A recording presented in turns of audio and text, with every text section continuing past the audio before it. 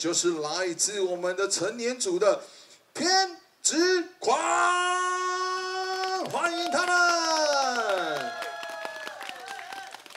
那我们的偏执狂乐团呢，是二零一八年诞生于台湾体院，二零一二年发行第一张创作专辑，二零一九年发行第二张专辑以及 EP。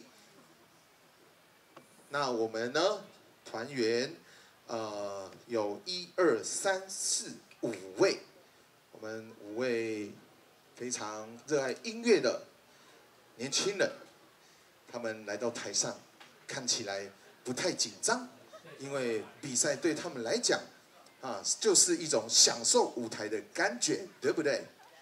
是的，说的太棒了，谢谢。嗨呀，是的。那现在呢，呃，这个时间计，这个叫计时器已经开始动了哈，那我们就把时间交给我们的偏执狂。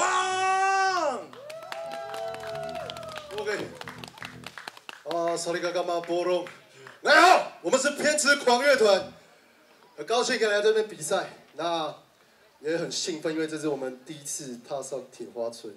那透过感谢呃粉风音乐季给我们机会，让我们踏上来，可以呃分享我们自己的音乐这样。那今天我们带来这这三首是我们很近期那呃创作出来的一些歌曲这样。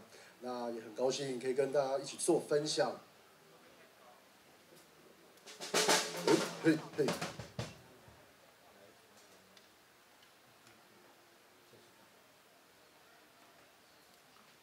起好的，那我们今天带来的歌曲呢？那第一首歌曲叫《城市的风》。那其实我们不管是求学或是去哪里读书了，那其实我们都一定是离开家乡。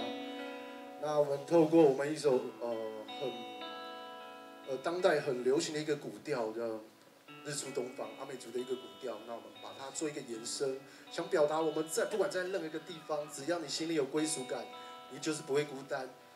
那我们也不怕辛苦，那努力的在做我们该做的事，完成我们的梦想。就像我们自己偏执狂一样，就是从学生时期，二零零八年一直到现在，我们已经过三十，其实就是就是一个大数。那我们想要来表达我们对追逐舞台的那个热爱，每次上台就像第一次表演，那也就像我们参加每次的音乐季一样，就是很享受这样的氛围。